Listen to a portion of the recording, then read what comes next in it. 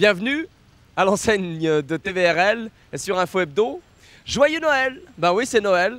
Avec son bonheur, ses cadeaux, les fêtes de famille, les étoiles et son Père Noël. Petit Papa Noël, quand tu descendras du ciel. On va vous raconter son histoire. Faut dire qu'il se balade un peu partout dans les rues de notre ville. Vous l'avez peut-être croisé, mais connaissez-vous l'origine du Père Noël? Anne-Katia Marchand et Julien Coindet vous la racontent.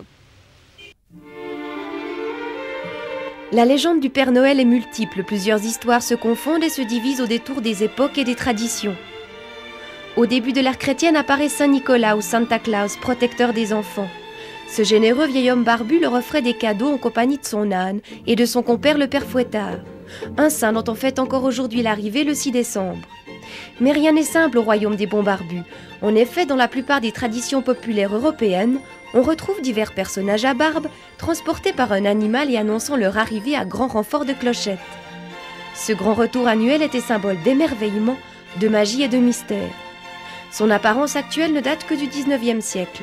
Vers 1822, un professeur de littérature new-yorkais, Thomas Nast, s'inspira de la légende de Saint Nicolas pour composer un poème sur la visite d'un vieil homme à barbe, conduisant un attelage de rennes et portant un baluchon de cadeaux.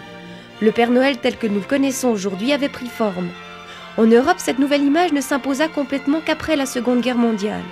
La forte influence américaine assura son uniformisation et renforça la suprématie de cet avatar de Saint Nicolas.